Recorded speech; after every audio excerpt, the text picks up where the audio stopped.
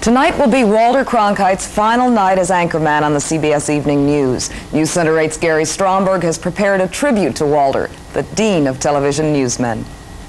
Walter Cronkite reporting June 6, 1944. The BBC shortwave has just transmitted this message to France. The year was 1954. Walter Cronkite was recreating the Normandy invasion for the television program You Are There.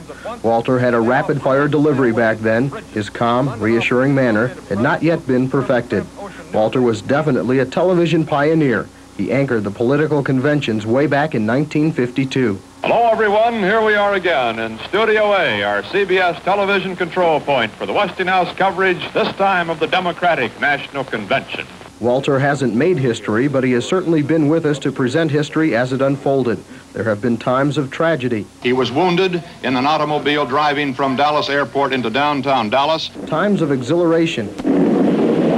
Looks like a good flight. Oh, go, baby. And times of chaos. I think we've got a bunch of thugs here, Dan. Over the years, Walter Cronkite has reported on thousands of stories, but there's one I really remember.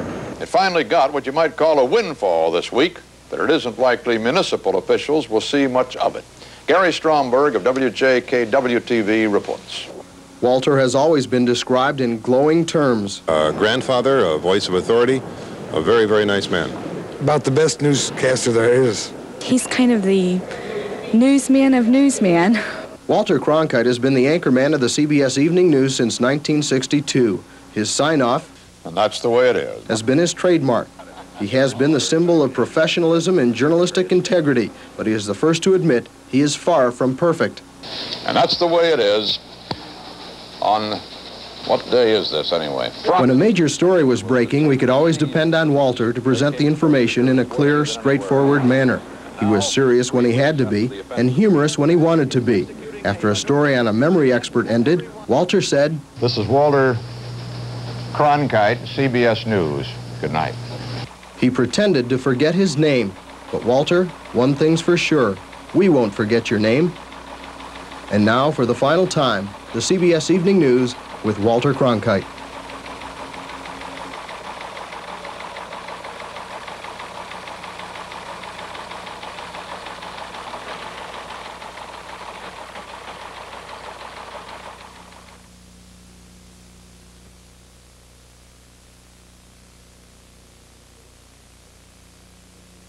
Good evening. President Reagan today opened his second White House news conference with some bad news for the bureaucracy.